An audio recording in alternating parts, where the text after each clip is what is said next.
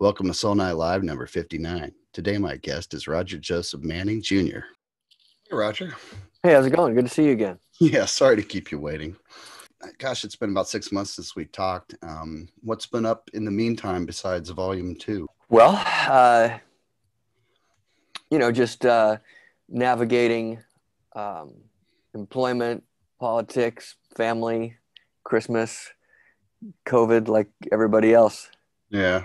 Um, and uh, doing my best. Um, I've been very thankful that my attention's been pulled into uh, what I call a healthy distraction uh, in being able to give new music to the audience, trying to expand that audience, and um, doing our best to continue to learn how to be more self-reliant, independent, um, without a you know any kind of major label or record company, tr- traditional record company model.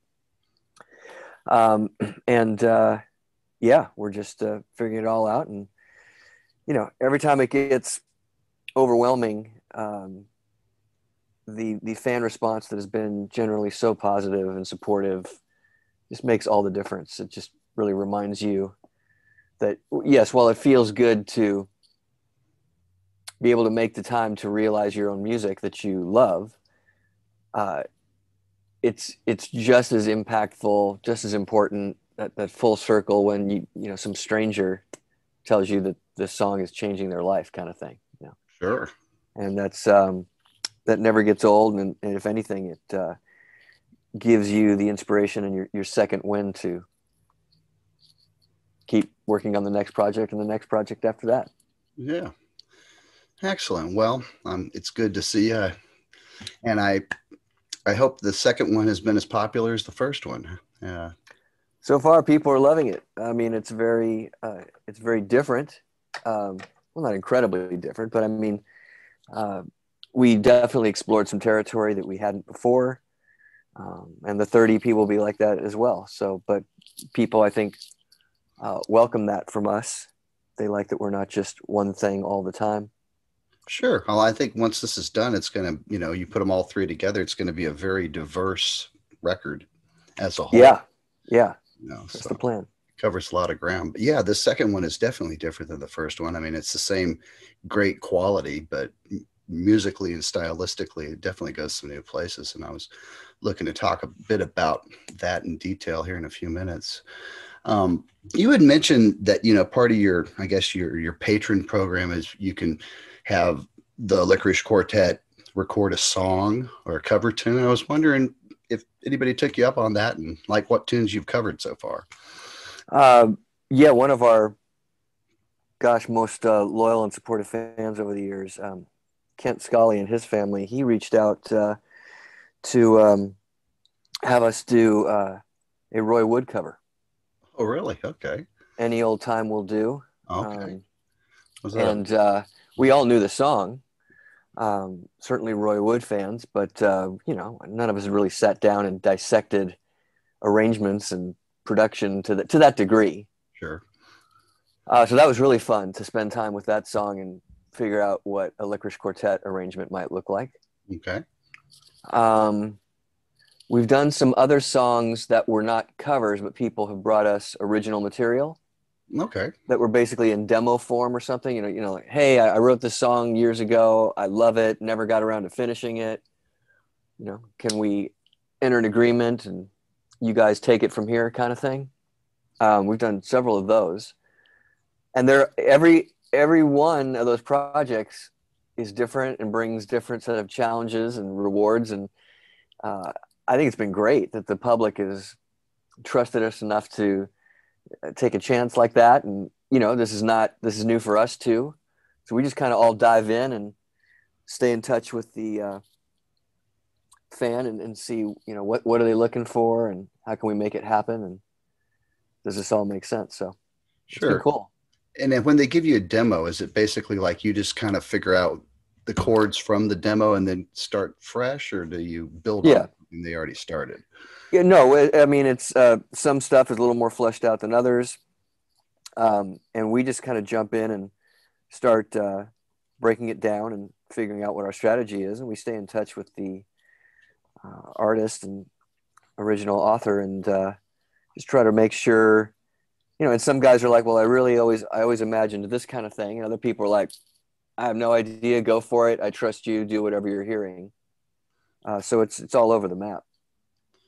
Very cool. Very cool. I may have to Yeah. take you up on that before long. I'm Hey, a New Year's resolution to record a new song every week. And That's amazing. So good. Last week I did one that sounds like Nile Rodgers jamming with King Crimson.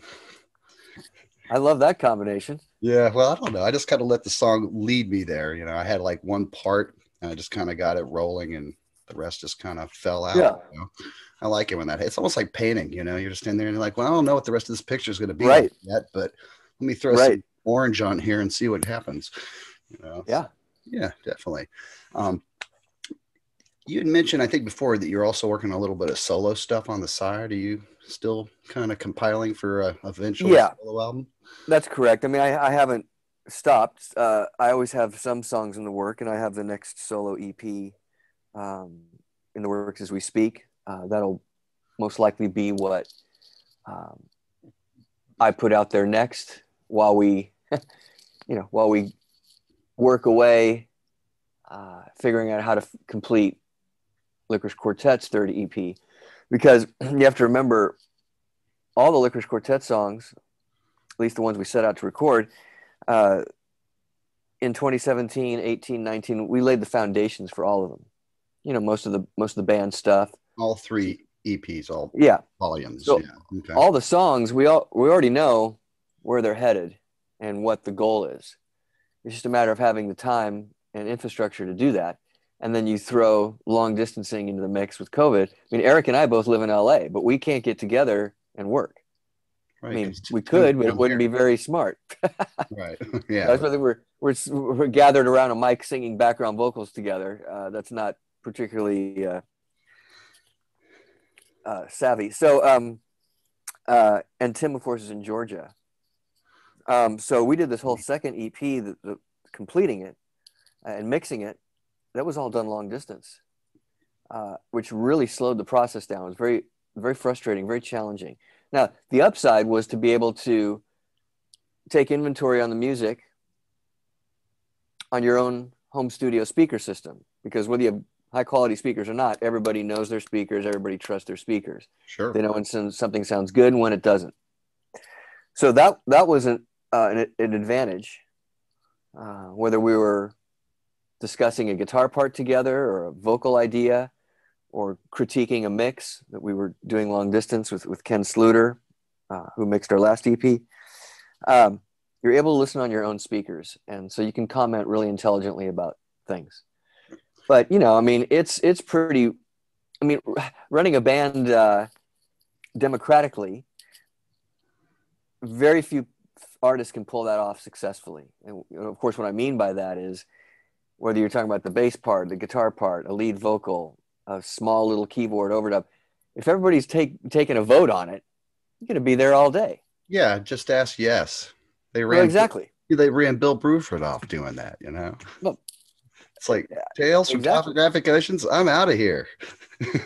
I got yeah nothing and and you know you can certainly being a musician in your own band whatever level you can sympathize sure. and you know how how challenging it is just to get to the finish line if you guys are preparing a cover song for a live show or something you know It is, although the democratic way, in the end, everybody seems happiest. It may take a little longer, but at least everybody got their their well that uh, exactly and and that's it's a um you know it's a more uh compassionate um communal way of getting to the finish line. But you have to it, it just requires such wisdom.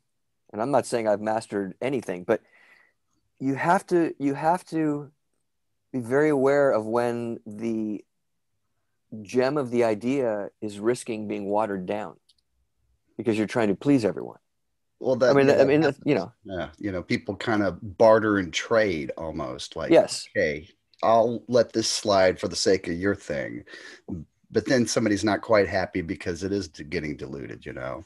it's getting diluted and and uh yeah i think it was todd rundgren that was reading an interview about, but he was talking about he goes because that's one of the reasons I do so many different things and I enjoy so many different things, whether it's producing or having the Utopia band or my own solo stuff, is because I have a different role in all those groups. And um, with my solo stuff, it's it's me unedited. I'm not answering to anybody but myself, and nobody's trying to filter me.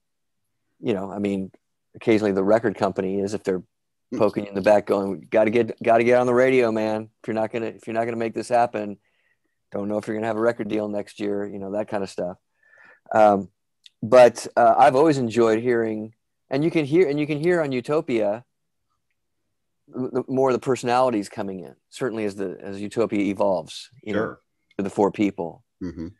um, that became the core band, and uh, it's it's. Uh, it's just all it's all terribly fascinating and certain, certainly we, we we know albums where some of our favorite lead singers went solo or there's a solo effort but and there can be plenty of moments of genius but you're it's almost you're longing for what the group sound was as good as the solo sound is as well. Sure. So um it's uh i think we've gotten quite good at it because since we're all songwriters who've worked independently on our own stuff, I think we're all very well aware of when it's veered so off course that it's not the original idea anymore. And we should have a discussion about that. We should take inventory. We should maybe no longer entertain that idea and move on to another one, you know, whatever the case may be. Sure. Okay. Well, yeah, I'm excited to see what you come up with. Um, now, when you do the solo stuff, do you play everything yourself on on the records, or do you? Uh, whatever it takes. If I feel I can get it done uh, most efficiently, quickly, uh, with the least stress, I'll attempt it myself. Um, it might be quicker to call up a guitarist friend who I think would be perfect for this idea, or you know, wh- whatever it is. I don't. I'm not precious about that. Um, uh, but the solo stuff is primarily me. If it if it wasn't, if there, if there was a bunch of people on there, it would just end up being another group project, another band of some sort. Yeah. Yeah, exactly. So. Okay, very cool. Um, so let's see. Um, so it looked like I saw you in a in front of a green screen the other day, uh, working on a video. Uh, I'm guessing you guys have chosen one of the four songs to do a video for. Can you tell me a bit about it? Well, it should be out now. Yeah, it's the um, uh, actually, I believe it's coming out sometime next week. But there's a teaser about to drop. It's it's for the dream that took me over. Excellent. The third song on the EP. Etchy earworm. Yeah, absolutely. Thank you. Oh yeah. Uh, yeah, we decided. You know, it's, it's, there's no particular order. Obviously, we're not going to radio with a with an emphasis track or anything like that. Right. But we're trying to ease the audience into the uh, next EP, and and it's fun to do that with everything from interview segments like this to you know putting together some diy video um, sure and uh, yeah i think you'll be pleasantly surprised uh, by what how much how much we were able to create with so little time and money and separately i would imagine right uh, that that's correct yeah. and um, we have a, a gentleman uh, who's a fan and has just been bending over backwards to help us out. His name is uh, Todd Stanton, and he's a videographer and does many things with digital video. And he's been offering to help us, uh, you know, take a, take our pool of footage and our our concept and really help us solidify it into a final product.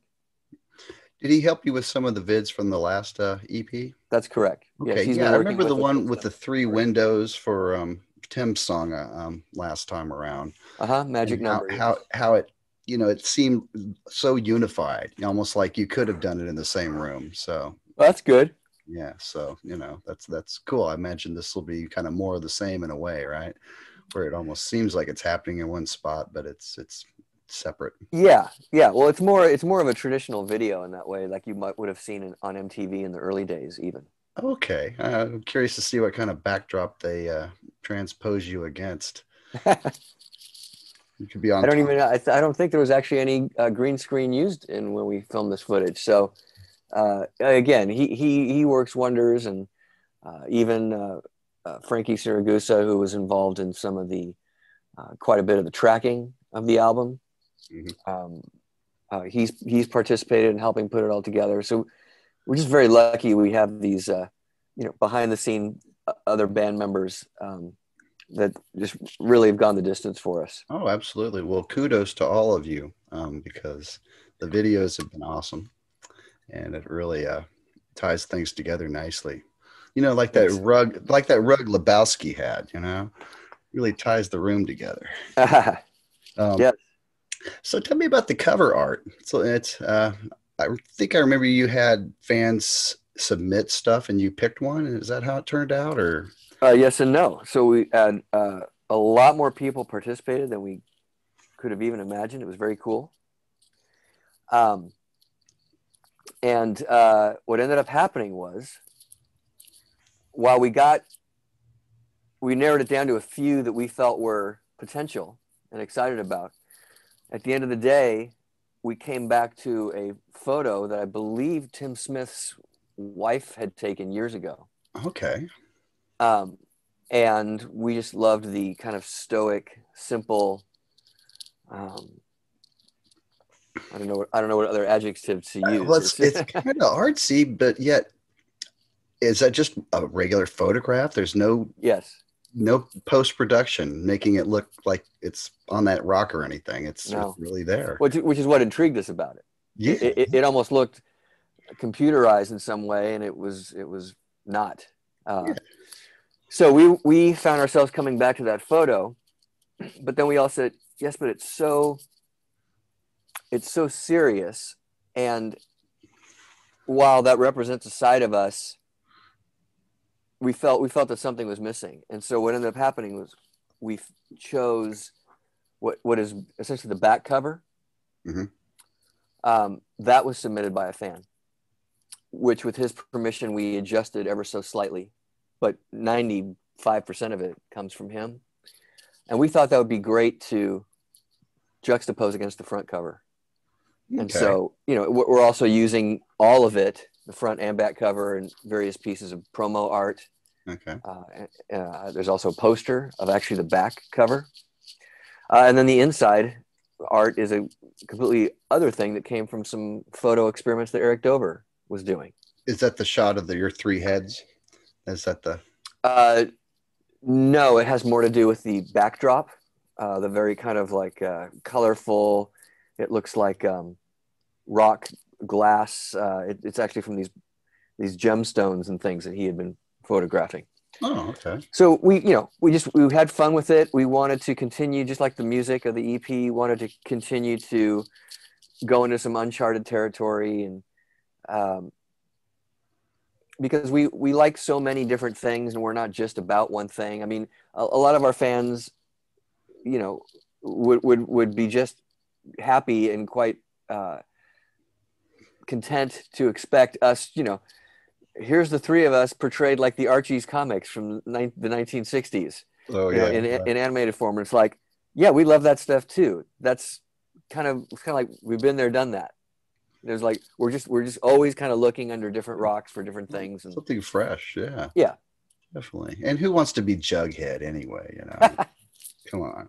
Um, did uh, I posted a picture of the uh, the new album along with your faces and my you know for my show promo, and immediately somebody's like, "That bird, that's an anhinga." Did you know that's an anhinga?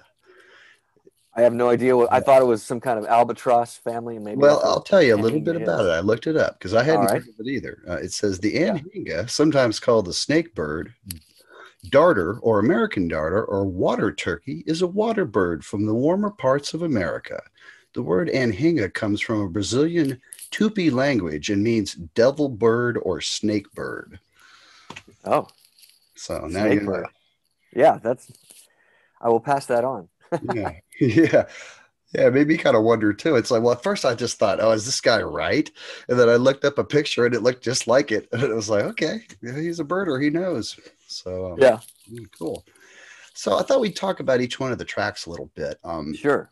First, I wanted to ask a bit about how you go about parsing out the harmonies uh, and if it differs i'm sure each song dictates something different um, but i'm but kind of wondered how you guys put all those together and and why you choose the harmonies you choose. Uh, it's like some it seems like you're not always going for the traditional choices. You're kind of you know mixing it up.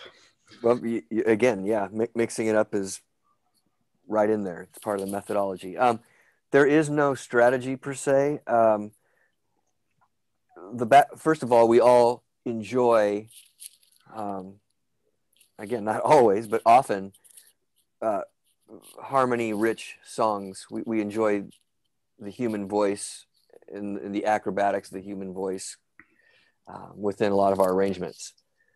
So, Eric might have an idea for a background part. Any of us might have an idea for a background part. And it just may be a concept, or somebody may actually have put down a scratch part. Like I was hearing this counter harmony in the bridge, you know, check it out. And again, if we are all like, wow, that's moving us in a cool way, let's let's get into there and figure out what it's going to be. Is it going to be just one person singing it? Is it going to be multi-tracked a thousand times so it's really juicy and surreal and otherworldly, or is it just going to be naked and raw and a little whisper over on the right-hand side of the stereo spectrum? or is that melody that you just suggested going to be harmonized or three people going to sing it so it's going to sound like roger mcguinn and the Byrds kind of come in for a second and then disappear Wh- whatever it is and that's really fun for all of us so as as challenging as that can be uh, and as heady and mathematical and uh, a lot of music theory and stuff that can be involved to create that uh, and then of course very time consuming to execute it because just just because we're fantasizing about this part doesn't mean we just walk up to the mic and do it. Some of our voices, our, our voices all have different ranges. Some of us can really hit notes hard in certain ranges and sink into a character. Other people can't. And so the other guy has to come in and here, you take over here. I mean, so are there times when you try it stacked a certain way and you're like, oh, that doesn't sound so hot. Let's try absolutely. it instead. And you just keep trying combinations. Absolutely. That, that happens all the time. Exactly. Because as much as we believe in an idea in a part, you don't know if it's working until you try it. Sure. Well, just trying it is going to be hours of vocal stacking and vocal arranging and recording and getting it in tune and getting it in time and all. And then you kick back and go, okay, we did all our parts. What do we think? Right. That kind of sounds like Frankie Valli in the Four Seasons, and that's not what we were going for. Right. Yeah. So, do we still believe in the part? If so, let's get rid of version A and let's strategize about how we might do it differently. Do you um, use? It's just other... super time consuming. Oh, I can I can imagine. And is that something that you have to do all together in one room, or is there a way to kind of do it from a distance and kind of get a handle on it? So by the time you get to the studio to record it, you already know. Uh, well, we had the luxury of doing most of it in person uh, prior to COVID. Yeah, uh, because awesome. Tim Tim flew out from Georgia on you know on the band Fun um, to work in person for a few weeks at a time. So we tried to knock out a lot of the vocals in person, uh, but then it, for EP number one, but for EP number two, didn't have that luxury. So we did uh, like all the vocals on Snollygoster Goon except the lead vocal. That was all done long distance, and it was a huge undertaking. Again, it was fun because we were excited about the parts.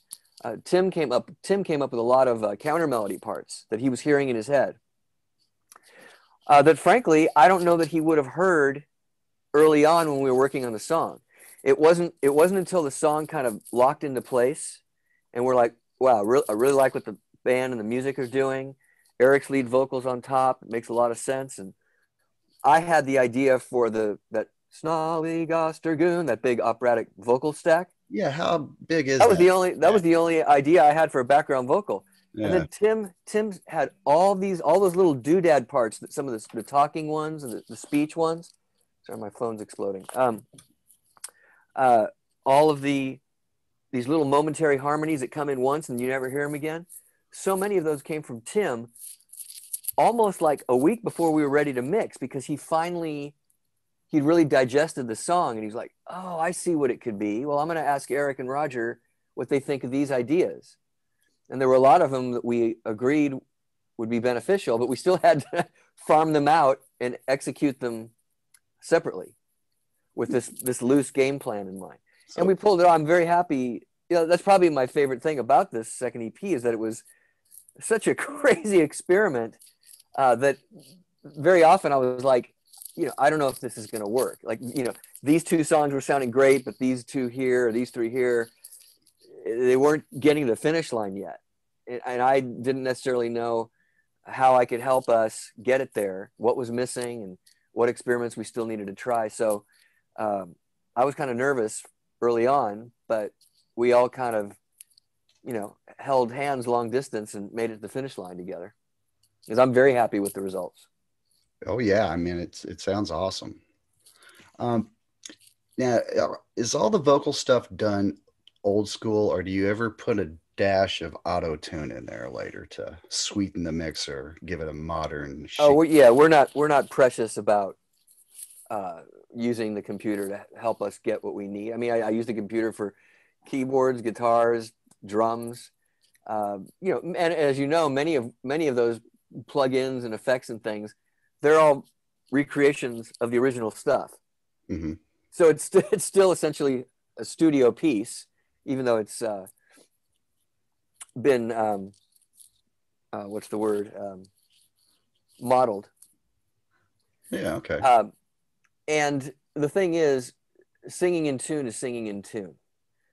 There's especially with a lot of dense chords and stuff that we do, you you have to sing it in tune. Um, there's not a, it's not very forgiving. Yeah, uh, if, if like one person's out, the whole thing sounds out. It's not like the plugin's going to fix that, you know. No, exactly. It, also, exactly. There's so many things that you have to know as a singer that you have to get right uh, from the get go. If you need to bring in the computer to nudge it this way, nudge it this way, bump it here, that's all that happens, right? It's it's right, right. You say if you're a a a, a pretty face uh, is going to be naturally is going to have natural beauty. All the makeup's going to do is is enhance this or that or magnify what's already there.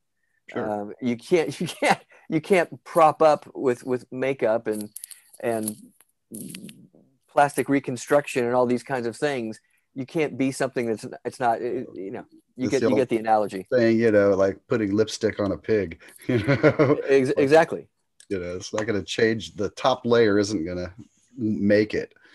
Um, okay well that's cool yeah and you know no shame in doing that i mean everybody uses it nowadays and it isn't obvious on y'all's stuff it doesn't sound like you're just dripping in it you know so. Well and the thing is yeah thing, if things like tuning plugins and uh, effects and, and and so forth if those didn't exist or you didn't have the ability to say wow i love I love the entrance of that phrase, but I was too anxious. I was too antsy. I, I, I, jumped the gun. I came in too early, but the magic's there.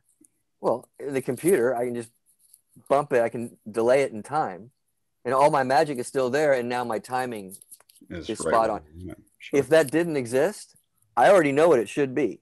It's got to be magical. It's got to be in time. It's got to be in tune. Has to right. It has to have those three things. Sure. I'm just going to sit in front of the mic for days and hours until it's right. So, I mean, if the computer can actually speed up the process a little bit, then then the public the public gets the EP quicker.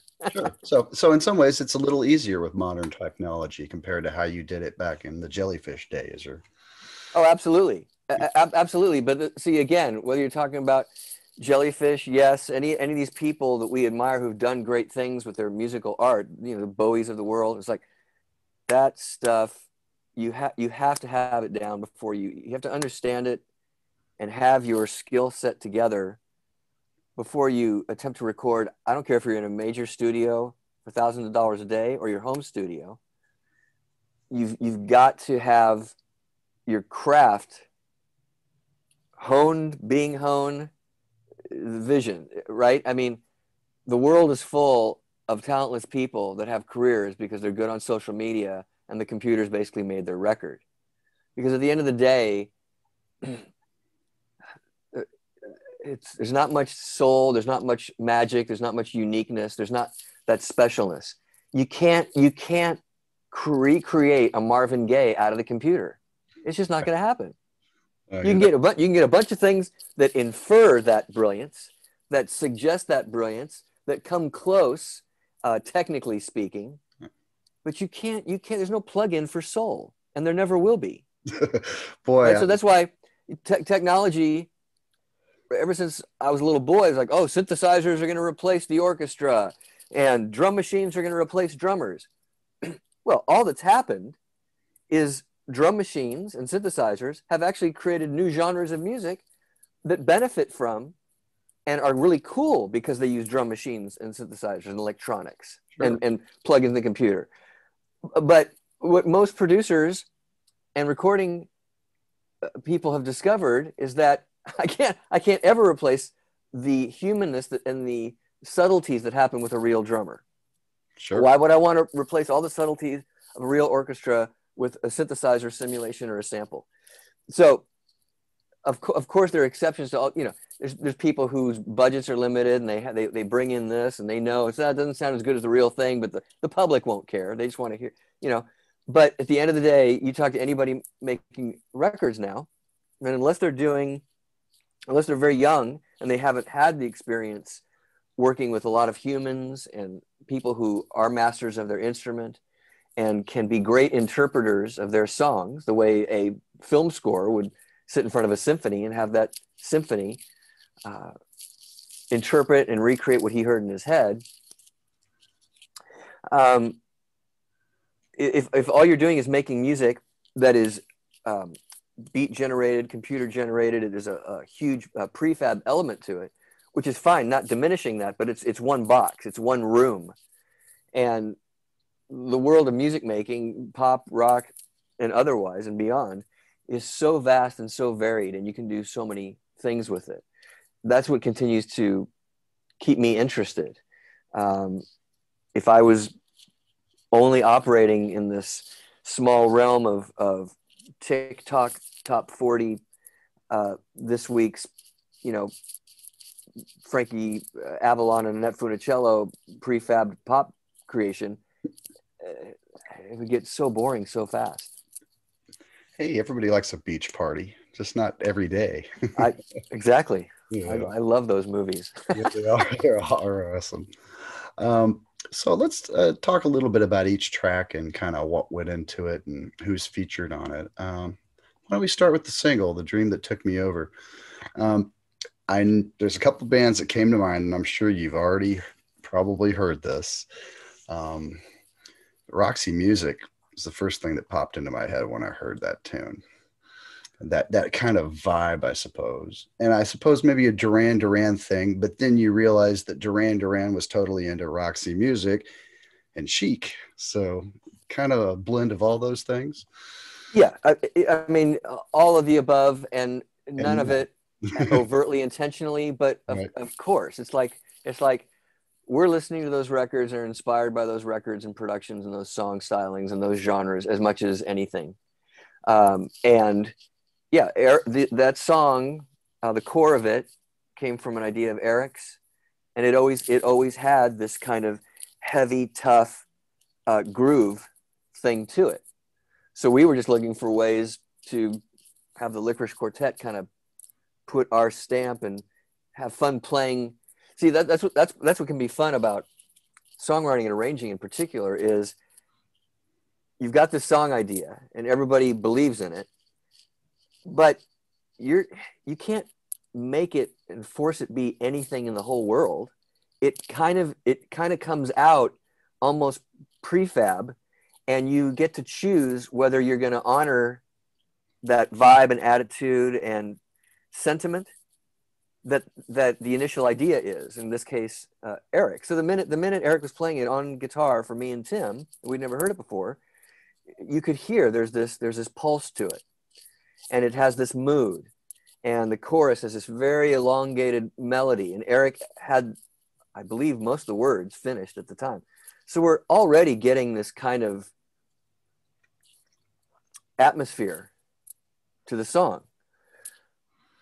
Me and Tim had a positive reaction. Was like, hey, this let's let's look at developing this further. Well, the last thing you want to you're you're not going to. I mean, you can do whatever you want, but you, what you're not going to do is say, "Wow, that's that's really fantastic." What if it was a reggae thing? Right. Yeah. It's like. It's, Well, you could do that, and we're Yeah. we're skilled enough musicians that we could experiment with that song as a reggae version arra- arrangement. But if if we're trying if we're trying to pay attention and honor to this spiritual energy that's kind of coming out of Eric as he's presenting this idea and what it just sounds like harmonically and stuff, it's like, why would you do that? it's like let, let's let's see. It, cle- it clearly is leaning in this direction. Let's play with that some more first. We can always veto it, sure. But. but you know, you, it's it's about trying to allow the song to almost uh, birth itself, and and you're facilitating that through the recording process. But what you don't want to do is get in the way of it. You don't you don't want your ego or you know you're really into this artist or this sound this week, so this song you want to. I want this song to be the vehicle for that. It's like no no no no no. The song has to be what it needs to be Sure. and that's that's a practice that I really uh, try to adhere to, and the more I kind of allow, it's it's very kind of zen that way, and uh, you know we all have a lot of musical skill, and the temptation is to overproduce something, overthink something, overarrange something. Um, and part of that art, of course, is to just know when less is more uh, when when when when simplicity is going to be more effective than complex overproduction and blah blah blah blah blah. Yeah. Um. So, is that mostly Eric singing the lead on "The Dream That Took Me Over"? Yes. Is that? It almost sounds like you at the very beginning. No, that, that's Eric. That's Uh, Eric. Okay. Tim Tim sings a bunch of harmony. I actually do a lot of the vocoder harmony that you hear later in the song. Mhm. Um, but yeah, that's uh, that's le- that song is less um, interweaved with different lead singers and things. That's than some of the other ones. Okay. Well, that yeah, super catchy. Um, what are some of the boards you used on that one? Wow. I used a really heavily processed piano. Has a lot of uh, fast phase shifter and chorusing on it. Those little sparkles that come in. Um, wow, I used this uh, Technics synthesizer. It's almost like a home keyboard. Yeah, it's like a home keyboard. Oh. Um, Yeah, they made like stereos and stuff in the seventies. Yeah. they have a, they had a huge line of keyboards that I believe were mostly popular um, in Asia, but they're they're they're like one man band type keyboards, you know, for the home organist kind of thing. Oh yeah. They have a huge a huge product line of, of stuff, and I found one that uh, was surprisingly flexible with very interesting. They're synthesized sounds, but it's it's their version of them. They don't sound like Moogs. They don't sound like Rolands. They don't sound like Korgs and all the traditional synths. Cool. Uh, so a lot of those sounds that are the waterfalls, those sparkly waterfalls, that that's coming Yeah. from the Technics keyboard.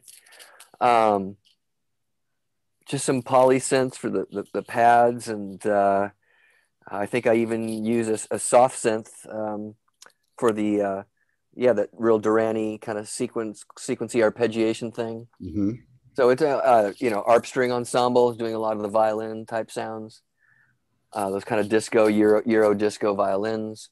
So it's all it's all over the map. Yeah. Well, it's a delicious blend, and that's just uh, a good kind of top-down summer kind of tune, I think. So when Great, summer thanks. gets here, yeah, crank it up and go to the beach.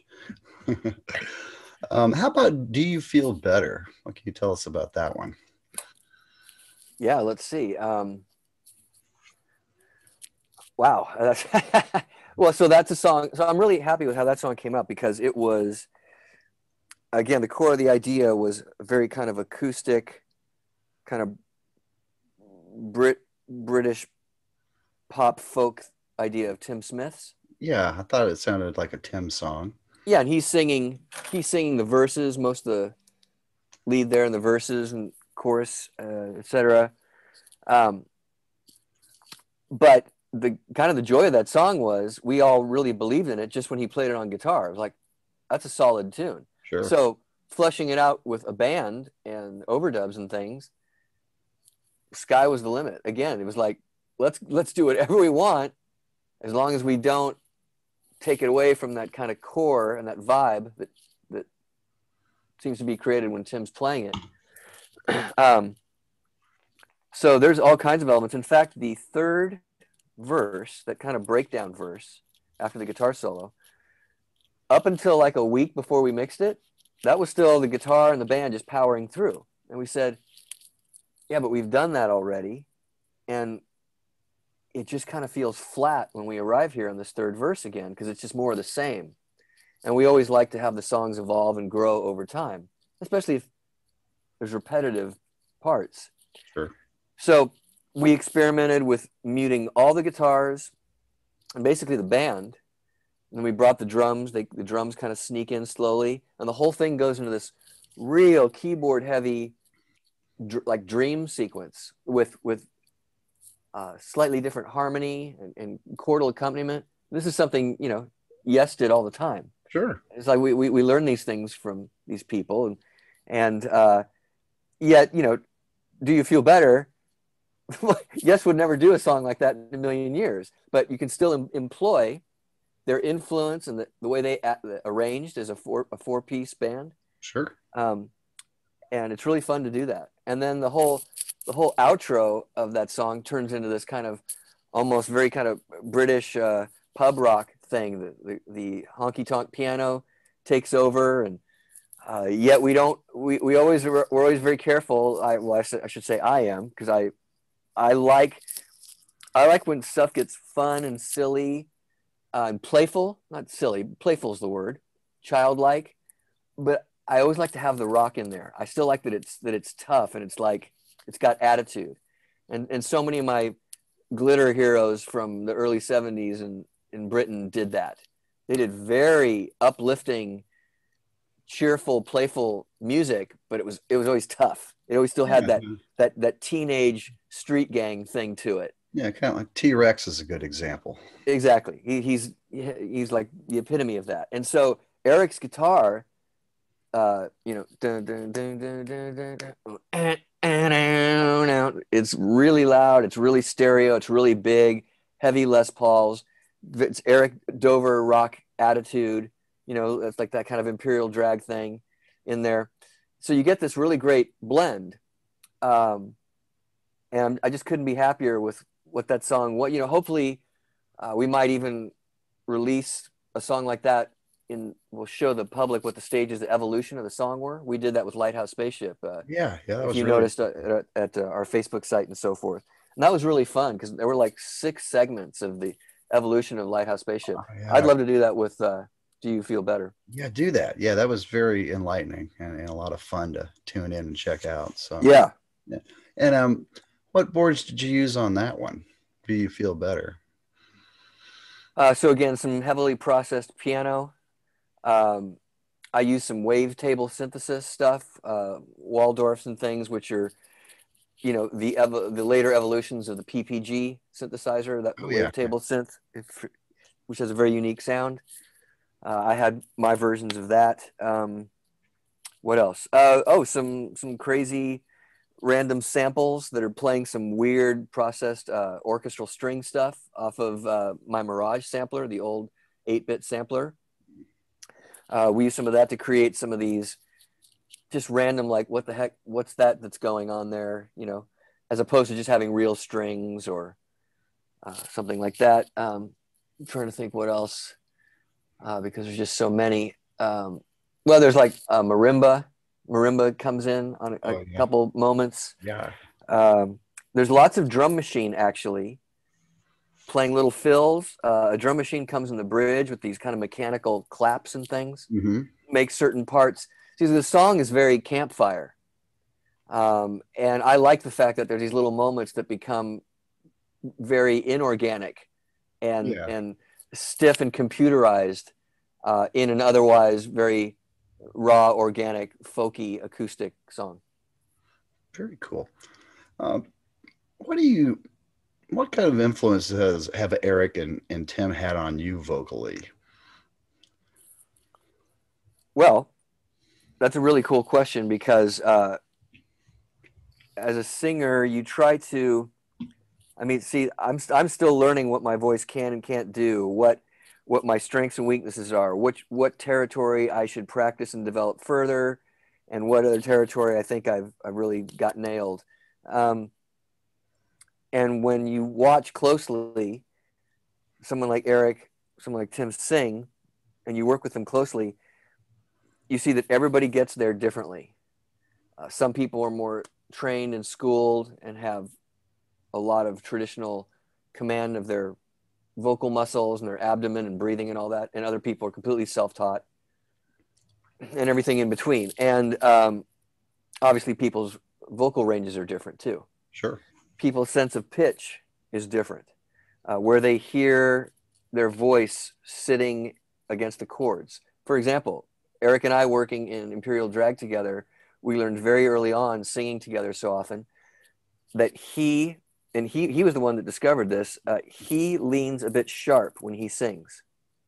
I lean a bit flat when I sing. Mm. Now, these are only problems if when you're singing together, it sounds terrible, right? Because then you got to figure out why.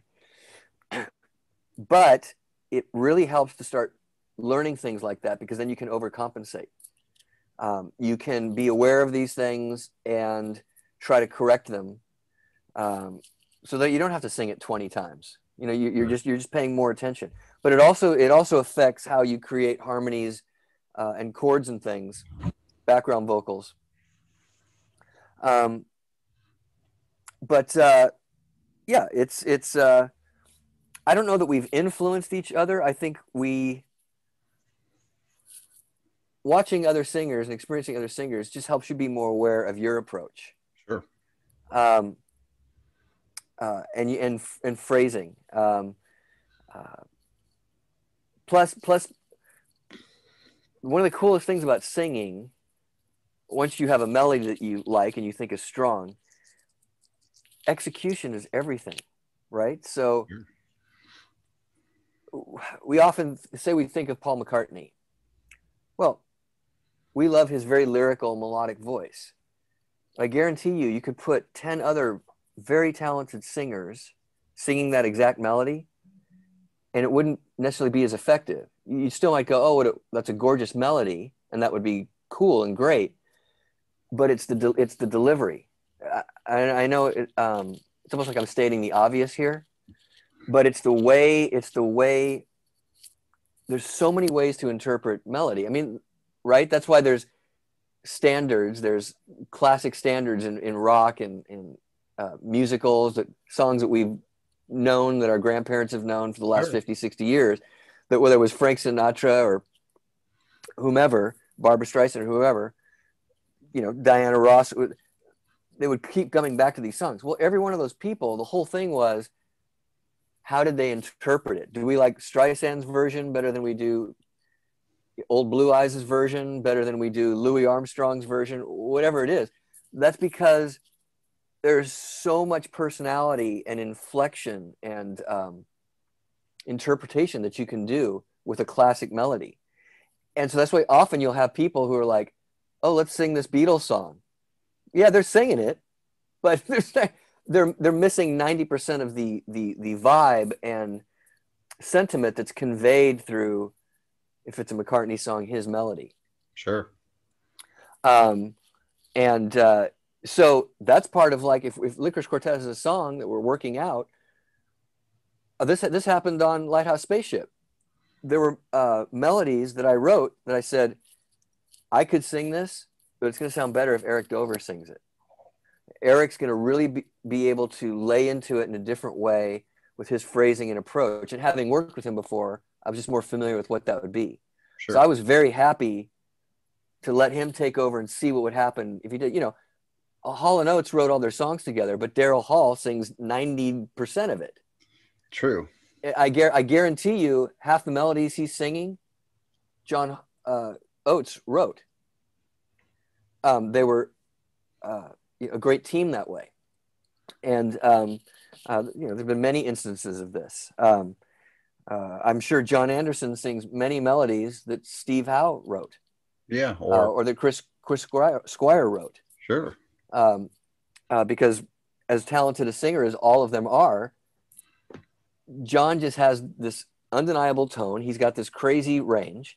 Sure. Um, and uh, but that's why we also enjoy the Fish Out of Water solo album. Think. oh yeah, it, then it's like, wow, Chris, you've got a heck of a range yourself. his, vo- his voice is crazy. Oh, Yeah. it really is. And some of those harmonies he did with Jon were just really unconventional, and that made them all the cooler. the whole the whole the whole thing i mean you could actually for the yes fan you could have an entire documentary on just chris squire's persona Oh, in that group Oh, you can go deep with them. You know, I've done two episodes about the history of Yes. Oh. The first, the first one, I thought I was going to talk about their entire 50 year career. We made it up to Drama, and it took us three hours. that's i'm surprised you got it done that quickly yeah Yeah. Well, I got two Yes historians that are kind of friends of mine online. That whoa guy, one guy wrote a book, and the other guys wr- put together the most extensive Yes information site on the internet, basically. And um, and it was great. It was just a deep dive talking about every album, album by album, every lineup change. So uh, yeah, we reconvened to do vo- uh, part two, and it was like, you think we could make it to the end today in three hours? It's like, damn it, we're going to one way or another. yeah so uh, yeah, we're actually those turned out to be two of my most popular episodes. So I've been Oh, inspired amazing. to do part three, where we're going to look at solo albums and offshoots. You know, like UK and Bruford and all that cool stuff. Right Yeah. So I digress, though. Um, okay, let's see what else we got here. Um, Snollygoster Goon. Uh, am I right that that's been around since the Imperial Drag days? uh, well the core of that idea was yes the core of that idea was written around that time hmm um, and like a lot of these you know uh, they've remained unfinished for years not fleshed out uh, but there's something about it that you know we believed in um, and it was worth exploring. Mhm. yeah so um, what else to talk about on that song? Uh, again we were excited to explore a very fast high energy almost uh, uh, punk it's very very kind of punk uh, but with a lot lots of melody in it is this the song where you played the guitar and you had to you didn't use your firebird because that would have sounded too nice and you used some kind of cheap guitar that you had to tune every time you changed the chord? Yeah there's a, that there's a little bit of yeah there's a little bit of footage of that. So i play basically if you listen to the mix i'm the guitar on the left. Uh, tim's playing most of the guitar on the right. Uh, eric's doing all kinds of overdubs and that huge guitar stack in the instrumental section of the song that's this almost this noise ambient That solo. kind of dissonant kind of bit. Yeah that's all that's from that's all from the mind of eric dover we we we did not know we knew that would be an instrumental section that we knew there would not be any singing but we didn't know what it should be. Yeah, well, it's Um, interesting it isn't your typical guitar solo section you know? No. Kind of kind of clouds the waters in a way harmonically where you're kind of thinking am i losing my marbles? You know it's and that, that's good though well that that's that's exactly right. That was intentional. We were so not interested in I mean, the most boring thing in the world to us would be to try to play some generic guitar solo there no matter how innovative it was. Um, and so uh, yeah it was really the three the three I saw all three of us play guitar on that song in some capacity.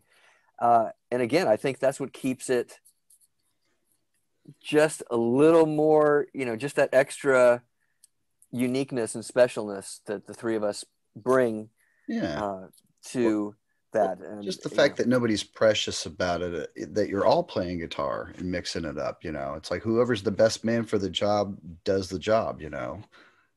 Right exactly. And and and it's almost like that's an instance where my lack of traditional guitar chops actually became an asset because I do have this really emotionally driven angst to my guitar performance that uh you know I guess again my handicap kind of works for me in that instance but the guitar was uh so poorly made and so uh, old uh, that it could it just didn't stay in tune. you But we, remember what brand it was I think it was a Crown. They're all they're all like 60s, 70s Japanese okay um, uh, guitars. It was a hollow body, uh, and I think Frankie had one too.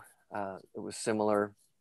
we might have used that on a portion of it. But uh, Frankie was, it was literally, he said, well, put your hand on the position and start strumming it. And you could tell two of the strings would be out, even though my, my technique wasn't that off.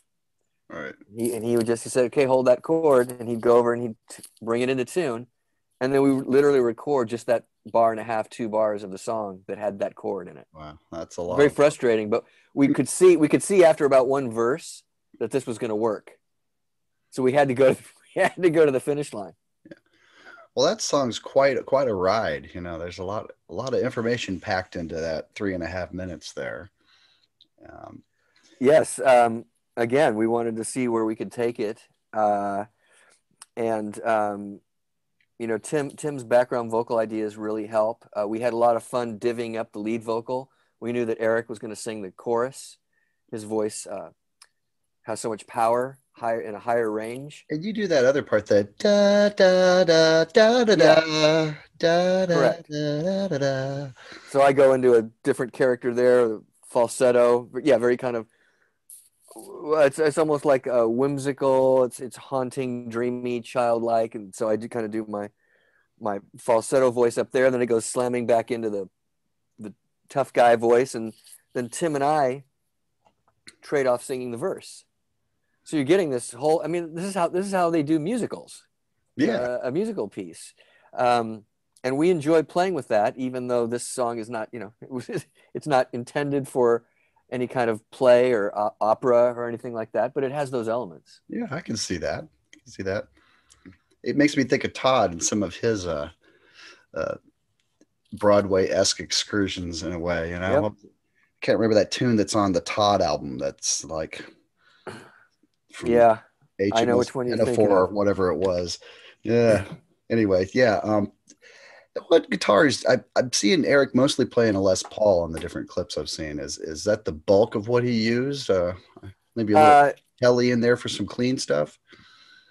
it's uh, again, there's no there's no right way. He has a variety of sounds at his disposal. I think he uh, he does enjoy seeing how many different places he can take the Les Paul, other than the obvious, um, you know, Thick and meaty.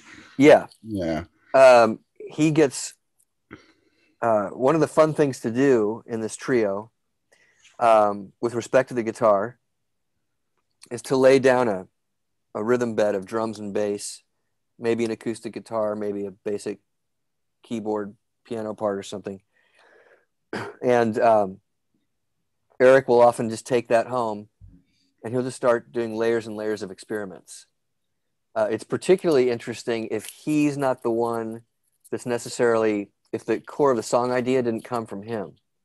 So he's he's literally walking into somebody else's head, somebody else's world, And and just seeing what happens. Yeah, Yeah. and not everybody can do this. Not every band can do this because Eric would often come in. Light, Lighthouse Spaceship is a good example.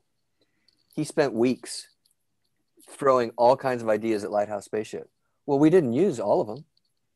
You know, there were ideas we we'd bring up, and we'd have to look at them and go, "Man, you went to the edge of the earth here, but we really feel it's it's taking it over here, and you know, it's it's um, flying in the face of the original emphasis and attitude of the song. But these two ideas over here, now that's something we weren't even thinking about. Like the, the whole, um, there's a whole section he does. He, he threw some harmonies on the end of that song, but there's, oh, there's those, there's those little um, leads that pop up, those big stereo leads that pop up in Lighthouse that are all him. They're very, uh, they're very fanciful, but they they sound, um, I don't even know how to describe them. I mean, they're kind of they're kind of glittery. They're almost like something Phil Manzanera would do, or even Fripp or something. Sure. But they're momentary. They're not. The song doesn't become that. They're just these these flares that kind of shoot off. I wasn't hearing something like that in a million years. And then when I heard his part do that, I was like, oh my god, that that's, exactly what needs to be here. Yeah, we're Right. keeping that, and it's gonna. So it would influence what the then the other instruments might do in that section. Isn't it nice So- when that happens? Yeah, all that stuff just feeds off of each other, but you have to have the trust in your partners, the faith in yourself, that everybody's not always going to like everything all the time, that all the experiments aren't always going to work. Um, and, um, well, you know, another one, uh, if you can hear it on the um, chorus of Do You Feel Better, there's these little stabs that are drowning in reverb and they're going, so the chorus is um, right, it's trucking along like that. Bum, bum, bum. And Eric has this guitar part. If you listen, it goes bing, bing, bing, bing. They're like these chimes, and they're they're drowning in uh, spring reverb, and they're going like. Oh, nice. It's a very very uh, sci-fi, very outer limits, um, very almost like a '60s surf guitar. Sure. Yeah, I love that. Just whacked out super fast vibrato kind of. Yeah. Well, neither Tim and I were thinking of anything remotely like that. Like that would have been the last thing to pop into my head.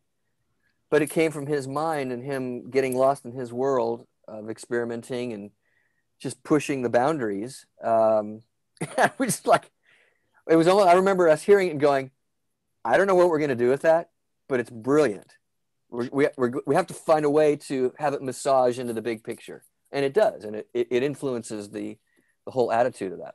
Sure. Um, any board in particular featured on Snollygoster? No. Well, let's see. Uh, there's one uh, sound I really like, which is like a like an RMI electric piano which sure. was used quite a bit in the 70s. Oh yeah. I mean I mean Rick Rick yeah, yeah. all over the early Before the Yamaha came out, that was the best as close as you could get to a piano on stage, wasn't it? Uh, well that and the Rhodes, of course. Right, yeah. But the road the Rhodes was so round and warm that um, right. this one is much more spiky and uh, excuse me, almost like electric harpsichord. Sure, yeah. I want to say I'm thinking like Tony Banks used that too, like Carpet Crawlers, yes. some of those kind of tunes. That's RMI electric piano. So I use that on, um, there's the breakdown of the second verse where we mute the guitars for a second. And it just kind of goes to the keyboards playing, maybe it's the third verse, the keyboards playing almost like this switched on Bach kind of neo Baroque moment. Sure. It's, it's fancy, it's light, it's, it's just square peg and a round hole before you slam back into the punk rock guitar world. Right. And then I do like this very fast Jerry Lee Lewis thing as we exit that. So it's just experiments like that that uh, you just have to try them, and then they add this momentary flavor, and then they're gone. I, I really like how that came out. It mm-hmm. sounds very kind of British pub to me, uh, which I, there's so many bands of that era that I really like. Late '70s. Sure. Uh, you know, uh, melody punk. I've been on a squeeze kick lately. You listen to them much? Uh, they are um, obviously certain periods more than others, but they are they're uh, uh, yeah they're rarely brought up in interviews. They they are as big an influence on me as any anything. Oh man, I'd love to talk about them for just a minute if we could, because this year, yeah, I picked up about five of their albums, and I got to say, Glenn Tilbrook is a brilliant lead guitarist. I mean, I know. I mean, and that's not what he's known for. I mean, can you think of a better, more perfect guitar solo? I mean, he and he's such a killer friggin' singer too. He's just the he's the total package, you know. He's just well, yeah, not not obviously him. He's the mouthpiece of the group, but you know him teaming up with Chris and the incredible lyrics that happen there, and then what they do with their voices and octaves. Yeah, that's kind of uh, unusual. I mean, most people wouldn't go for octaves. Oh man, no, it's completely yeah, in a very easy way. They created the sound of Squeeze. Yeah. It's like, well, let's just let Chris do it. He he's has the higher, you know, more traditional blue-eyed soul vocal sound. but there's a whole period where that that the, the, octaves is the vocal sound. And um and then they always surrounded themselves with such a great uh, band too. Yeah. But there's that there's that period. They have so many great periods, but I was so pleasantly surprised by the period Paul Carrack's in the band briefly. Yeah, that's a East Side Attempted. story. That correct album, one of their. And then I think I think the album right after that called uh, Cosi Fan Tutti Frutti. Well, actually, there's one in between it, and I have it right here. It's called "Sweets from a Stranger," which all right. Yep. Well, that that has many hits on it as well. Yeah, this is a kind of gets falls between the cracks. Um, Cosi Fan Tutti though is one of my favorites. There's the, just the way the chord progressions are on. Oh my God. Yeah. gets me, man. That the, the songwriting on that just exactly. Um, for some reason, that re- resonates at a deeper. It's no different than Elvis Costello's Imperial Bedroom album. Okay, yeah. I mean, I like Elvis's whole catalog, but for some reason, the Imperial Bedroom album just slam dunks for me the whole time and takes me into this world that I never want to leave. Um, you know, and it's the Attractions, the same band that's on most of those great records, and they're sure. one of the greatest bands ever ever to exist in rock, in my, my opinion. Oh, And, and, and Squeeze is uh, similar that way. and um, one of the fun things for me about Squeeze, or one of the ways they've influenced me so much, is they've done that magical thing that so many Brits have done, where they're heavily inspired by um, American American urban soul and gospel and all the all the Motown and uh, uh, the Black American influence on pop and the great things that happen in the states. And then when the Brits get a hold of that, they do their version of it. eh, You know, in a band like Squeeze, and it comes out totally different. But you can still hear the soul, the, the deep uh, emotional content is always present. But they but they almost have the, but these melodic shapes are more well, they're more European. Uh, they're more um, uh, uh, European song hall uh, lyrical musical tradition. I, I can totally I think love of that one. combination. I can think of one on Cosi that um, you know that song. I learned how to pray every night. That's an Aretha Franklin song totally. for crying out loud. That's Yeah, exactly. wonderful. And I mean, uh, Roddy Frame, Aztec Camera, another perfect example of someone who clearly was inspired by that sound and ran with it in his his own way. Scritti Politti. I mean, there's so there's so many great. Uh, yeah, I guess they uh, people often call it blue eyed soul. I just love that British filter. I mean, true, even Yeah. like in the late '60s when the Clapton and all those guys got a hold of American blues. I, it's almost Bee like I-. for some reason I gravitated more towards that British blues stuff than I did the original stuff. I, I, I couldn't agree more. And I love plenty of the original, but I love what happens when these young art school uh, kids from the cities in England got a hold of it with, with the new, you know, amplification of, of, the, of the guitar that they had at their disposal. Such, such an exciting time in music. And, and that stuff still influences me, but I'm really glad, glad you brought up uh, Squeeze because uh, that's just what a, what a catalog. I know it. You know, I'm working my way through it now. I haven't really got past um, Cosi, but I've listened to some online, and it sounds like every album has some gems on it. You know, they just, Yeah, I mean, I, I like uh, the one right after it too, Babylon, Oh yeah, I got that. I'm quite sorry, I do have that one. That that is a good one too. and I like yeah, like you said, I'm sure you can find at least two or three songs on every album that you're just like, this is so good. I know Uh, it. Then you sit down and you play, you kind of dissect it, and it's like I never would have thought to put that chord there. I know. That's why I, I you know. know, it's kind of like XTC. I, I think they're kind of in a similar ballpark. Very much. I As a matter agree. In fact, I could point to some squeeze songs that sound like they could have been XTC tunes. Like maybe they even influenced them a little bit. Absolutely. Uh, that's and that's um, for those who care. That I could say the same thing about some Elvis Costello songs, where it's like, wow, is this Elvis trying to be Andy Partridge, or is this Andy Partridge trying to be Elvis Costello? There's like, uh, or you know, being inspired by what their what their contemporaries are doing at that time. hmm uh, and, and squeeze falls into there and uh, that is such a powerful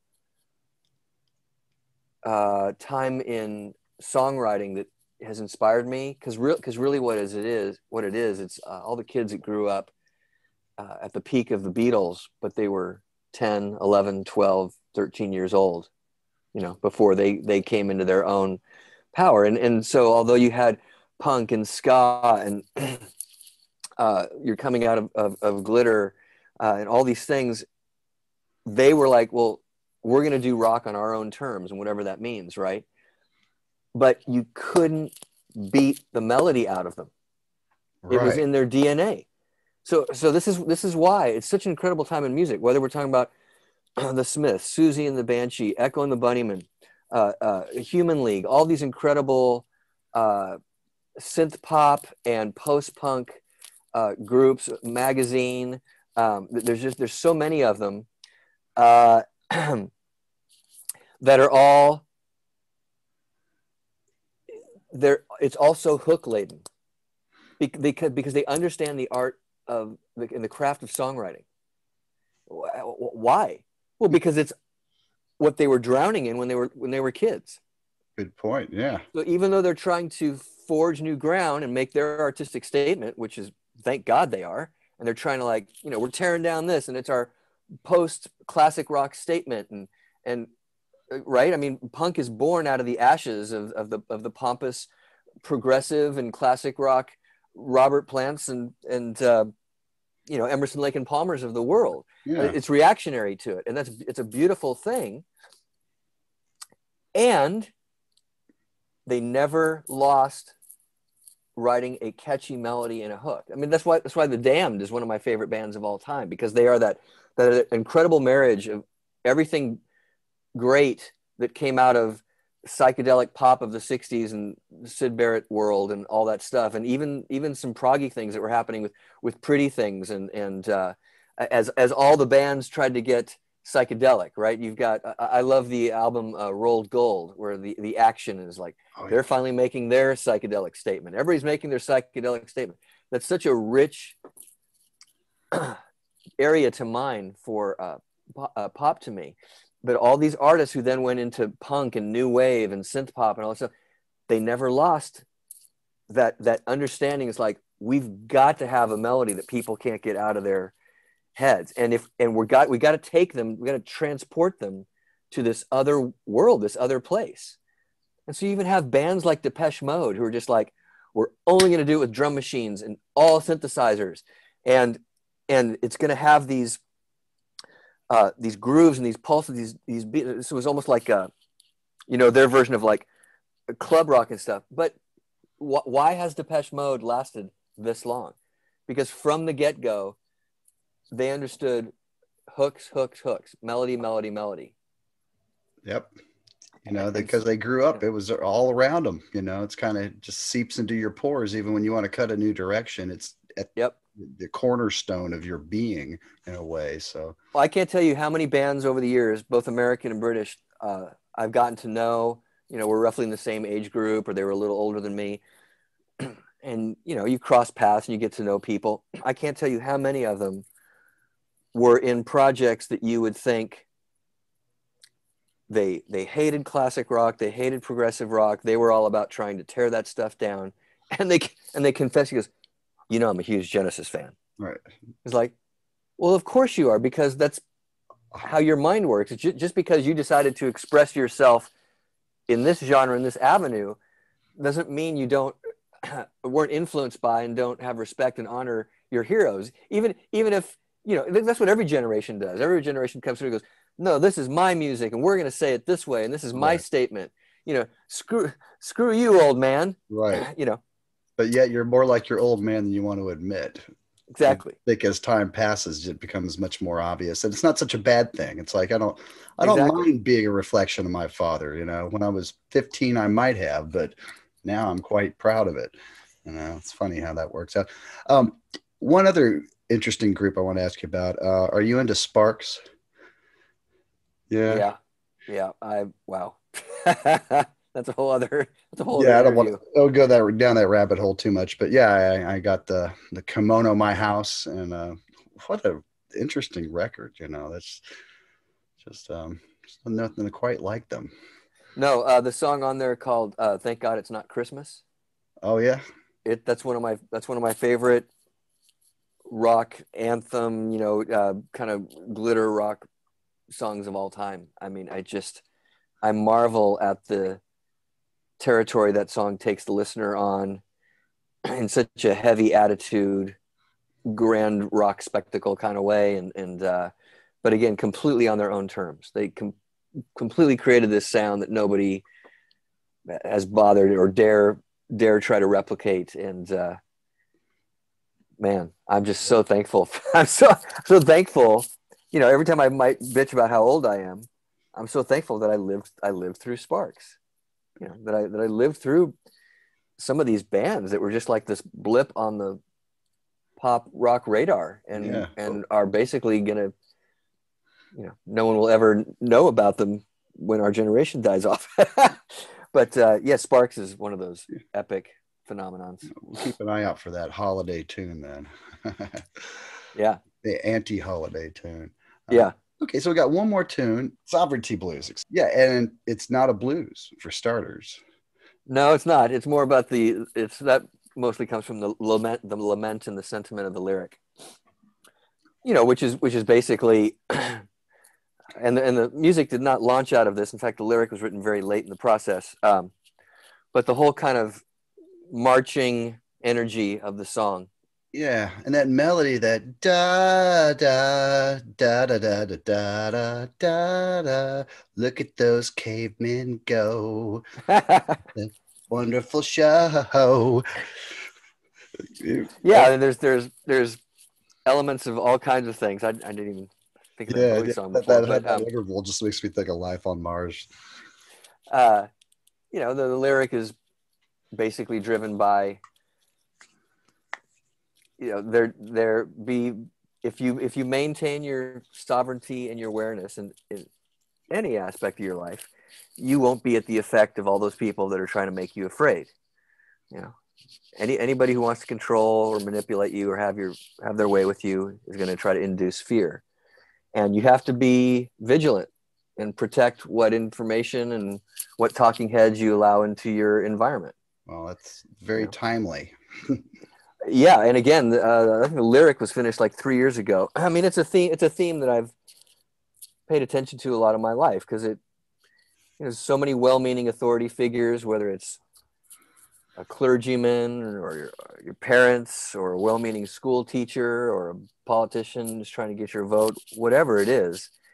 Uh, history has proven time and time again they they know the quickest way to get you to align with them is to scare the hell out of you. Sure. which which can never happen if you understand that that's what's happening and you stand your ground and you say i i let into my mind and my heart what i choose to let into my mind and my heart no matter what nuttiness seems to be going on in the world. So that's that's what sovereignty blues is about. It's like if you're not careful you're going to lose your sovereignty. You're going to lose your individualism uh, and your identity uh, your self-reliance your independence you're going to lose all those things if you give it away unknowing most in most cases unknowingly Yeah. well, give I- it away to the other whatever that the other might be First, I think these things are not up for grabs. You know, exactly like it's like I know the difference between right and wrong, and there I haven't seen a damn thing on the internet that's going to make me change my mind about that. You know, Yeah. I knew. there, the- there you go and, right and and so that's what the lyric was launched out of and then the, music was all about it's still um while it's a fairly somber potentially somber subject matter there's a there's a a, a, cheer, a cheerful a cheerfulness and like this crowd energy like i said like, like a positive march there's a there's a positivity and uplifting thing Yeah, to very much. in this in this uh, rock march energy. So it, again, it was it was different territory that we all uh, were interested in pursuing and, and uh, explored that. Who came up with the kernel of the idea for this one? Was this one of yours? Yeah. That's so because you're you're pretty much the lead vocalist on this tune, right? Yeah, more well, Eric sings the choruses. Okay. I mean, we sing Yeah, them as a group, but it's really Eric's voice that leads it. And yes, I sing the verses. Correct. you ever have times where he he almost he sings something you think, gosh, that sounds like me. Like you could almost emulate each other occasionally. Oh, sure. I mean, that can happen with any collaborators that are in each in each other's company Yeah, a lot. yeah, a few times on the record, it's kind of like, was that Roger or is that is you know is Hmm. that Eric? Well, I couldn't when I was a little kid. I couldn't tell the Beatles apart at all. Me either. I don't think I could tell the difference until I was about twenty. Yeah, no, I remember hearing, those, oh, that's clearly Lennon singing there. I see. And then he's joined by McCartney in the chorus. Oh, I, that took forever. I mean, it's so damn obvious now. I don't know how I could have missed it, but at the time, it was just like they all sound alike to me. I don't get it. Yeah. and they don't. But you know, to a fifteen-year-old, what do you know?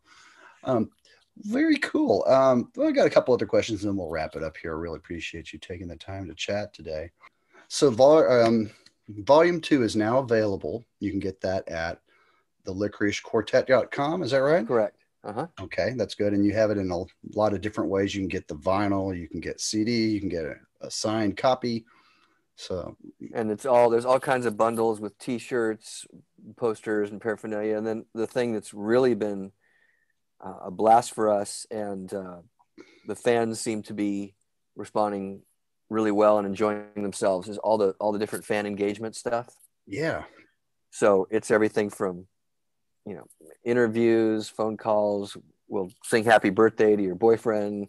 You know, on and on and on and on. Um, and uh, yeah, like we discussed earlier in the interview, um, working with fans directly in some kind of musical capacity, sure. which a lot of that's been playing keyboards or singing, or Eric and Tim playing instruments as well and singing on people's projects.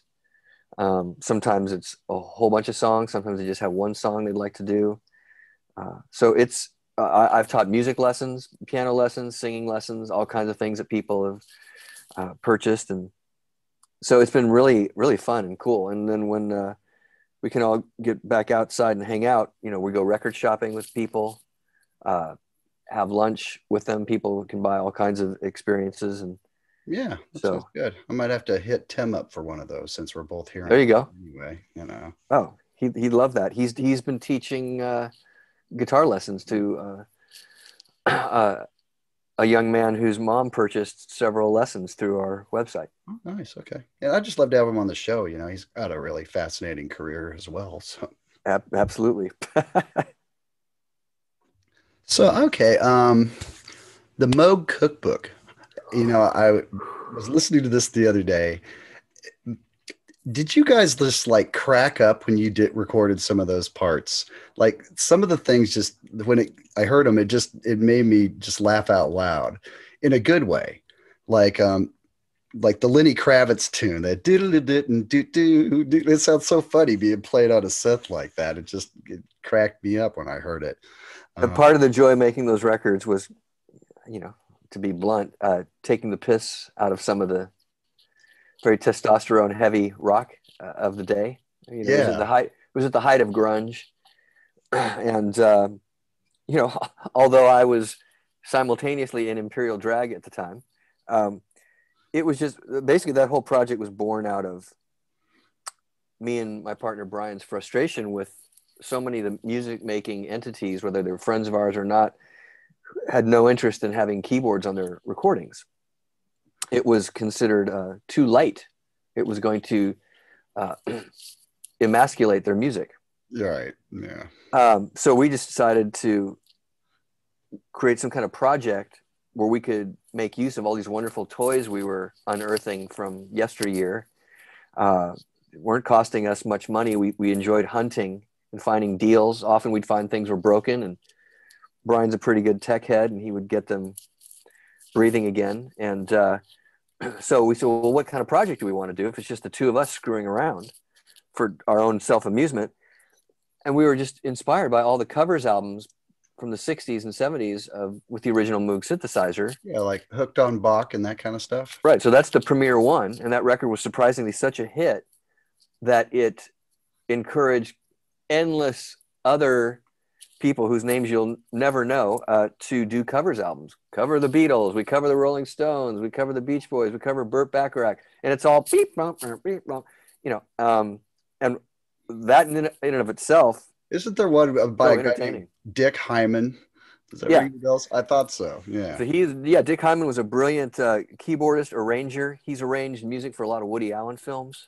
Um, he's a, primarily came from the jazz world, and at that time in his life, I guess he was fascinated, as a lot of people were, by the potential of electronic music.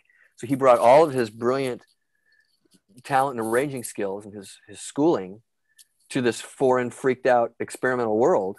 And those those Dick Hyman records are just, I mean, they're masterpieces. You can't you can't touch those things, man. They're they inspired us so much. Uh, obviously, we didn't have Moog modulars like like he did, but um, we had plenty of other toys that we could make sounds on. So our whole thing was, well, they covered the hit parade when they came out in the 60s and 70s. Yeah. Let's cover the hit parade now. And, you know, the K Rocks at the time were playing the top 10 of grunge and what have you uh, Pearl Jam, Lenny Kravitz, Soundgarden. And some of those bands we loved, some we didn't care for. It didn't matter. We we proceeded to apply our treatment to all of it, and uh, just had a blast doing it. And and you're absolutely, I'd say, look, we knew we weren't going to make a single dime on this project. So one of the reasons we kept doing it is because we were making each other laugh so hard. It was just like we'd get together, and you know, instead of having a few beers and watching the game, we'd have a few uh, veggie tacos and start recording um, these Moog Cookbook songs and just cracking each other up. Uh, and really, it, it really was fun to push some of these instruments to their full capacity and see what they could really do and how far we could take them. And, and half of them didn't even work half the time. So we'd get these crazy sounds out of them because they were broken. And it's not all just Moog. I mean, I heard some organ in there and other things. Yeah. too. So it's whatever you needed. It's basically any any vintage keyboards uh, of the past 20 years and the drum machines that we were finding. Am I, am I right that the first volume was about grunge and then the second volume was more about 70s stuff? Yeah, well, it wasn't specifically about grunge the first album, but that's what was on the airwaves a lot at the time. Mhm. There's all kinds of other stuff on there, um, but uh, yeah, that's so that's kind of what happens on the first album, and then the second album, we were very conscious that. Well, we discovered very early on with a lot of these records we were finding by people who were like, you know, the Moog synthesizer plays the hits of whatever. That one of the funniest things in the world to us is when you tried to play anything remotely bluesy on a synthesizer. right. Just going up and down the blues scale can be a big disaster. It just it just it, it just evokes laughter. Sure. Um, and I can't tell you how many albums we came across where the guy's like, "I'm gonna rip a solo," and it's it just sounded it always sounded dumb and silly and uh, so we realized that so much of our favorite uh, the, the, the classic rock lexicon is, is as we were talking earlier it's all it's all born out of uh, british blues sure. so it's built it's built in there Mhm. uh, so we knew that there pretty much wasn't a song that we couldn't touch from the Lynyrd Skynyrd catalog and, and just all of the Yeah, I mean, classics. Home Alabama. I mean, who saw that coming? That, yeah, I mean it's so it's so ripe for uh, messing with. Yeah. You know, one of my favorites was More Than a Feeling. It's like, oh God, uh, it's like, well, it comes in and you just think, oh, this is just kind of a synthy send up. And then you hit that da da da da da da dink dink dink dink dink. But you're like, it's like Euro synth disco. Yeah. Da da da da da da. da. it cracked me up, man. It's, yeah, that was a, that was a lot of fun, um, and uh, I just have very very fond memories about that. And then the, the funniest part about this story at all is that we got signed to this independent label here in LA, and we knew we knew that that meant that okay, we probably have a few records in New York and Chicago, and that there would be some outreach beyond Los Angeles.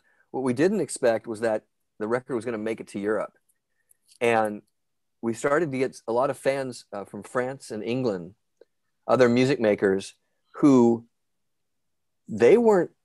I mean, they were smiling, but they weren't laughing as much as us. They were just like, "Oh my God, these guys have it's great. you know, brought yeah this is this is high art they've brought back the synthesizers that we all remember from the 60s and blah blah blah blah and uh, they they were just laughing less but the good news was they started offering remix projects to us and uh, that's how we came to play with the band air okay. they were fans of the Moog Cookbook Ah, and we uh, began a dialogue with them. We did some remixes for them. And they said you know our record company we're doing quite well and our record company is just begging us to tour but we're just two people. And we said well you're in paris. Hire uh, some of your friends and go out on the road. He goes and they said french musicians are sheet Nerd. they don't they don't understand what we're doing. We can't hire them. And so me and brian said well you should take us on the road and we'll be a four a four piece keyboard band and and they got very excited by that concept and they said well but we need bass and drums and you know and that's that's when we brought in justin from beck's band on bass and brian reitzell who I had just done the Logan Sanctuary. No, that was afterwards. Well, I knew we, we all knew Brian Reitzell from Redd Kross and some of our other Sure. favorite groups here in LA, and we had an instant backup band for them, uh, and that's that's how that whole thing happened. And uh, but that all came from them being inspired by what we were doing in Moog Cookbook, which was just that's just a flat out miracle. Well, we didn't know these people; they were on the other side of the planet, and yet at that same time, right, that first Air record, and then obviously subsequent ones, but the first Air record is particularly groundbreaking. Uh, it comes out in 1998, and it's uh, they're creating all these incredible keyboard sonic scapes uh, that, of course, have a nostalgic aspect to them, but they're very, very futuristic thinking as well. And and you know, it's a very it's a very serious record. So uh, it was fun to see them uh, want to employ some uh, inject some humor and lightheartedness into what they were doing, and they they reached out to us. It was very flattering. Very cool. Well, that's really neat stuff. Have you ever met Michelle Moog? No, is that Bob's daughter? I don't know her. Yeah. I'm I'm pretty sure uh, Brian must have met her. My Okay. partner. Yeah, I met her. Well, you know, I used to attend, and eventually I was on the staff of a festival called Northeast Art Rock Festival, Near Fest. oh, okay. And uh, Michelle was there each year. And I remember one year they had, uh, have you ever seen the Moog guitar that they came out with? It's not it's not the liberation. I don't think so. I don't remember that name, but it's probably about 10 years ago now. Really fancy looking, Oh. almost like a Parker Fly or some kind of weird. I know what you're talking about. I forgot I forgot all about that. Yes. It's pretty neat, but I had the pleasure of carrying one around and having everybody at the festival sign it. Everybody that was on the bill, and they had like Amazing. 12 bands, so it was a lot of people to round up. And you know what? I even signed it myself after dragging it around all weekend. That's a fun memento. yeah, why not? Um, quick question about Beck, and then we'll wrap it up. Um, you got a favorite Beck album or any that rise to the top of the Oh, pile God. for you? I'm sure you love them each for different reasons. I do, and and he has covered so much territory. I I um. Well, yeah, I, I would have to narrow it down to three. So, uh, o- Odelay, Sure. uh, that record before I joined and was introduced to any of those people, that record changed my life um, as as much as any album has. Uh, it was so forward thinking and just it really it basically said to me just when you thought you had this pop music thing figured out he just he just gave us a whole a whole other i was going to say another room to, to a door to open but it was so much more than that it was almost like a mansion with awesome. 50 rooms in it. Um, I'm very, very proud of being involved in the album Sea Change, which is more of an acoustic band based record. Yeah, that's one of the in the last seven or eight years, I think, right? Yeah, it's 2001, 2002. Okay. okay. 10 years like now. Okay. Yeah. Yeah, it's been a while. Okay. Um, and that's just, I just, I'm such a fan of his songwriting on that album and the, the mood that was created uh, by the band members. Um, that, that, that album has very, has a very serious mood to it that I, I love uh, being immersed in when I listen to it. Uh, and then as recently as uh, Colors, which was two albums ago, Okay.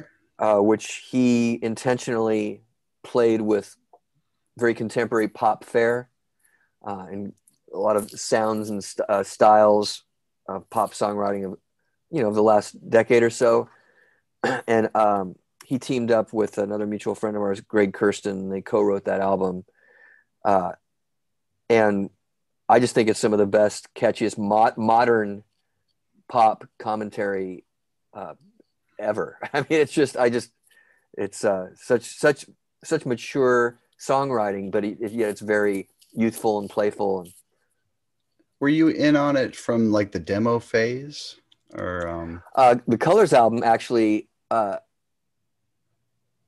I and I end up my role on that record is very unique in that it's uh, I mostly just do a lot of singing.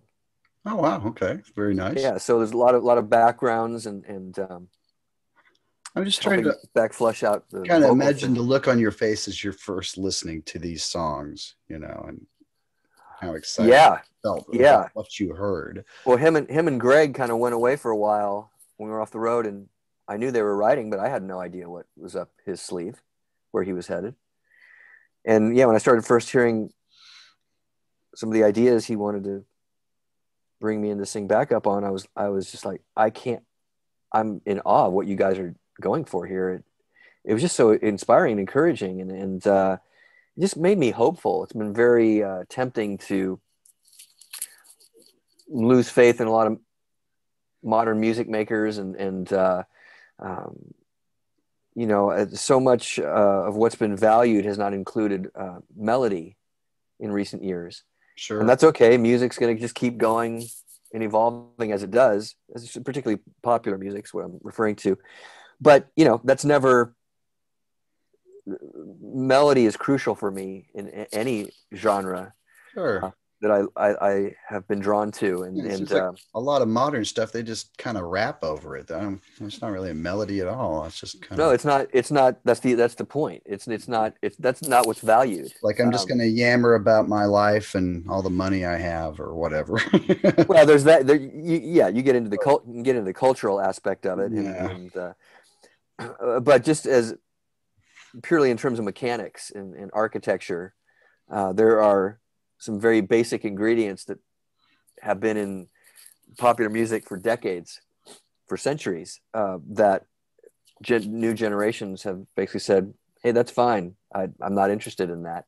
So it's fall it's fallen away. Um, so to see him come out with an album like he did in 2018 like that uh, that that adopted so many of those modern traits uh, but still had very strong melody content and hooks and very very thoughtful arranging yeah. um, was so exciting to me to even be a fly on the wall for Sure. And just it's rare to run across an album that has all of those elements in this day and age. You know, exactly that's great. Um, Johnny Cash, how did you? I read that you worked with him. How did that come about? Uh, well, I wished I had met him during those sessions. That that wasn't to be. Uh, those all came through Rick Rubin, who Oh, was okay. uh, using me quite a bit at the time, and uh, he that whole Johnny Cash retrospective and uh, all the new music that came out at that time was all Rick's idea, the way I understand it, and he really wanted to uh, work with Johnny and have him do recordings and capture, you know, his what came to be his last artistic Yeah. statements. Well- um, and I happened to uh, be there to play some of the keyboards on those records uh, through Rick's guidance, and um, uh, what a, what an honor! Sure. Yeah. And that was, you know, Rick really brought out a great phase for him. You know, there's some really wonderful music in that period. Yeah. And it kind of set a, a standard that he followed with other people like Neil Diamond later. Like, let's just do this stripped down thing, no bells and whistles. Yeah. Let the song shine through, you know. And Yeah, I think he did that with some other people too, although I'm not quite sure who. But anyhow, well, what's next for you? 2021 so far. um, just trying to trying to keep the wonderful world that uh, has come to me and that I've invested in uh, to keep it moving upward and onward. Uh, so I love and continue to love freelancing, uh, playing on other people's projects, whatever those might be, singing, keyboards, arranging. Um, uh, I continue to enjoy, you know, finishing what Lickerish Quartet has set out to do. That's going to be a part of this year. Uh, then, like I said, my solo EP, which is uh, nearing the finish line as well. Um, in addition to all those blessings, I look forward to uh, us being able to travel again. Sure. And uh, there's there's a whole there's a whole other brilliant Beck record we didn't get a chance to promote because just as we were gearing up to do that, like a lot of people, hmm that all came to a grinding halt. Um, and that's another brilliant album of his that the world uh, barely got a taste of. Uh, which, which one's that? The Hyperspace record. The hyperspace. That's right. Yeah. And you know, there there's some moments on there that whether Beck thinks of them this way or not, but they're they're quite I don't want to say proggy, but they're very very moody and experimental and almost kind of ambient. Uh, they're very very very textural.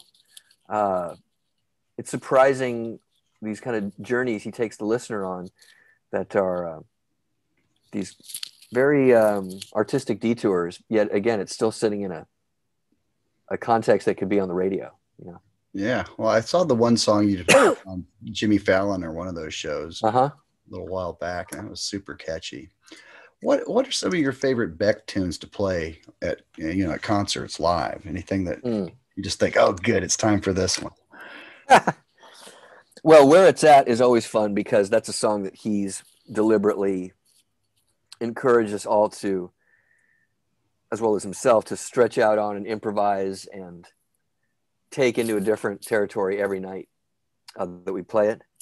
Um, and it's always a crowd pleaser. Um, gosh, there, uh, there's a there's a big dumb rocker called. Um, I forget the name now. oh, E-Pro. Uh, that's so much fun to play, even though I don't even play any keyboards on it. um, what else? Oh, there's so many. Well, um, a song called "Dear Life" off of Colors. That's a really fun one. Lots of vocal harmonies to sing. Um, there's so many hats I get to wear in that group Yeah. there's some songs I like. I don't play any keyboards, but I'm triggering all these crazy samples and sound effects and Right. singing all these background vocals. And you're and not don't even the only keyboard player, right? There's like another keyboardist as well. So there's right? another gentleman who uh, he he wears just as many hats. He kind of grabs whatever needs to be filled in. okay. So if there's extra keyboards, he'll do a little of that. He might play some banjo. He might he plays a lot of like electronic percussion. Uh, he also sings background vocals. Uh, that's that's Cal Campbell. And interestingly enough, it's Glen Campbell's son, one of one of his sons. Uh-huh. Small world. Yeah. Um, so you're absolutely right. It's uh, that job does not get boring at all. It does not get uh, repetitive, and um, I'm very happy to be a part of that team and helping to bring that music to the audiences as we get to do that again. Seems like the perfect artist for you to be working with, you know, somebody that's Uh, definitely, definitely, yeah. forward in so many different ways. You know, I can't imagine you being happy in a stagnant situation at all. So it's great that it's always ever changing and Absolutely. even surprises you, I imagine sometimes. It's like, wow, I didn't know he's going to go in this direction this time. Neat. yeah. Sure. Roger, it's always a pleasure, my friend. Um, good luck with volume two. Uh, I think it'll probably be in my mailbox when I go down there and look today. I think it's shipped this week. So Cool, man. Yeah. Uh, it's always a pleasure uh, to catch up with you this way. And Absolutely. uh, thank you for so much airtime. oh yeah. Great for the group. Oh, it's always a great chat sitting chatting with you. So thank you so much. All right, we'll give my best to everybody. I will be back tomorrow night at 10 p.m. I and my guest is Jeff Sipe, who is the drummer with the Aquarium Rescue Unit, which is a very popular jazz fusion inspired jam band down here in the South. Oh, all right. Yeah, really cool stuff. So, all right, Roger. Well, take care. Stay Thank safe, you again. and I will see you around. All right. Okay. Thanks, everybody. Bye bye. Bye bye.